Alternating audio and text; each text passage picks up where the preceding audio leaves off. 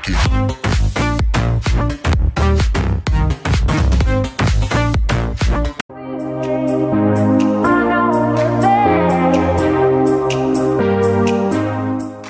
up guys, I'm back here with a new video and this video is again about Redmi Note 3 Marshmallow version and this version is very decent and fast but it have some major and minor bugs.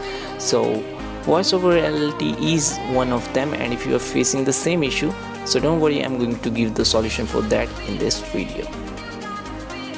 So all you need to do first open your phone and turn on it uh, well properly then switch to the settings and have to make changes in the sim cards option. So simply open your settings and uh, uh, select your sim card and here we have to make changes. So once again i'm going to give you the practical way. So simply once again watch carefully open settings switch to the sim cards and mobile network and select your sim card and uh, select to access point names and here tap on the reset icon which is below the sim card preference and simply tap on it.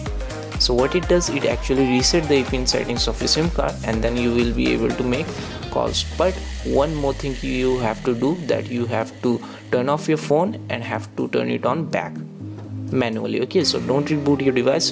Do this method for two to three times and you will get done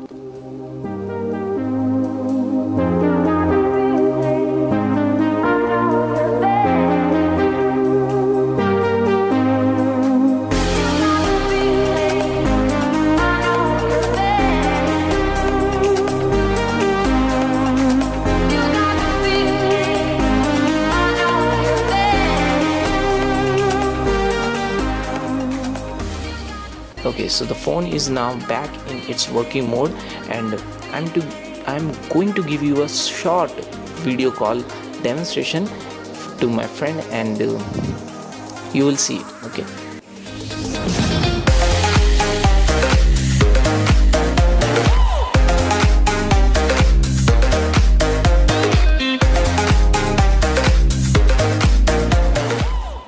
okay so it worked. So this is how i fixed my voice over LTE problem using this method. And if it works for you as well don't forget to give it a like share and thumbs up. So thanks for watching guys. Thanks for watching this video. And once again i will see you in the next video. Goodbye